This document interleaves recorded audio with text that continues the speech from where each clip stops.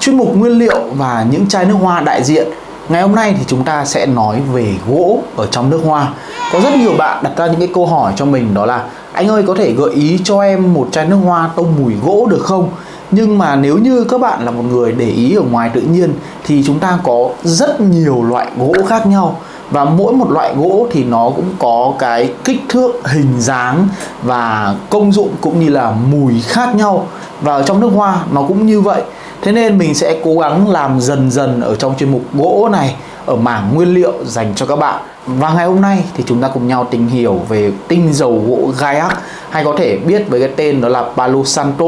Ở Việt Nam thì mình có search được nó là tên gỗ chắc xanh,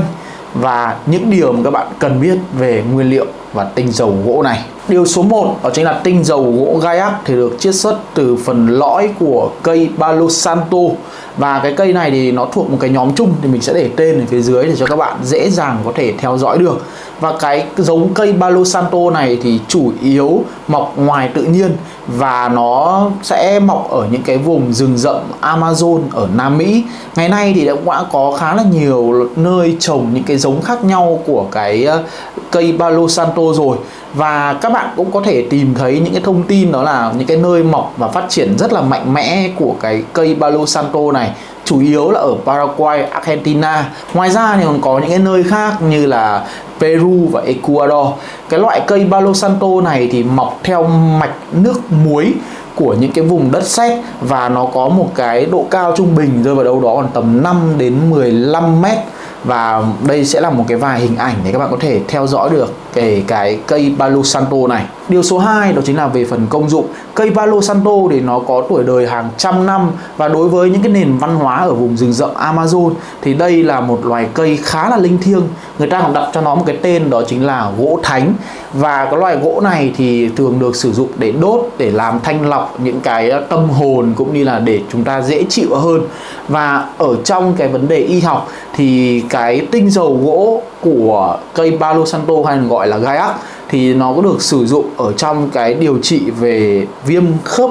cơ này, xong rồi điều trị về da và tóc. Ngoài ra, gỗ Palo Santo còn được ứng dụng trong ngành công nghiệp thiết kế về nội thất. Gỗ Palo Santo thì là một trong những số ít các loại gỗ chìm trong nước vì nó có thể tích nặng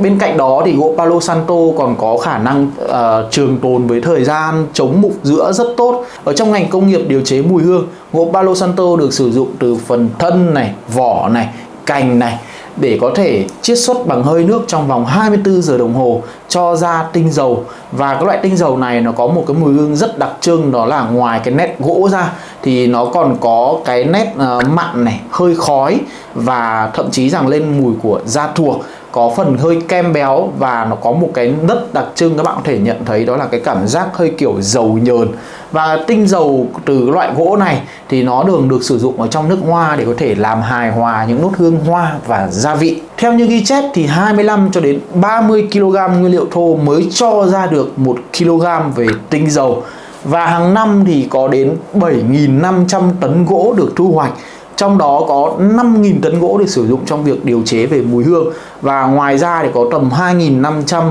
ờ, tấn gỗ khác để sử dụng ở trong những cái ngành công nghiệp khác và đặc trưng đó là chính là thiết kế về nội thất cũng như là làm những cái uh, lót sàn ấy, lót sàn gỗ. Chính vì nhu cầu ngày càng lớn, đặc biệt là ở trong nước hoa thì cái loài cây Palo Santo này đang đứng trên bờ vực tuyệt chủng tại vì nó không kịp mọc. Bình thường người ta phải chọn những cái cây có khoảng tuổi thọ trung bình tầm từ 30 tuổi thì mới cho ra được chất lượng tinh dầu ổn định. Vì thế những cây non trẻ hơn thì vẫn đang trong quá trình trồng và những cái cây mới trồng thì nó cũng không đảm bảo. Và sau đây sẽ là một vài chai nước hoa điển hình có nốt hương gỗ gai ắc ở trong nước hoa. Ở vị trí số 1 đó chính là chai nước hoa mà mình rất yêu thích và mình cũng đã sở hữu, đó chính là Le Labo Gaiac 10 các bạn nhận thấy cái nét beo béo đặc trưng của giống với A13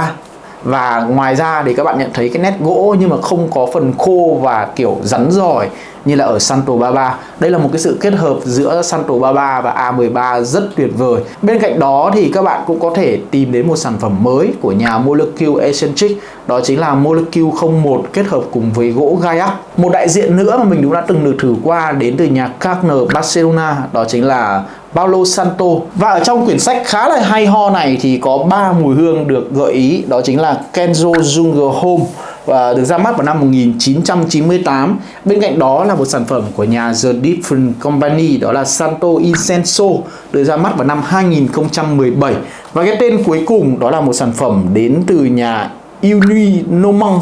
đó là Bohem Sound được ra mắt vào năm 2018 thì đây là những cái mùi liên quan đến gỗ kayak đặc trưng được cuốn sách này recommend. Và nếu như các bạn đã là một người sử qua gỗ kayak và bạn yêu thích nốt hương này, hãy chia sẻ mùi hương của bạn ở phía dưới nhé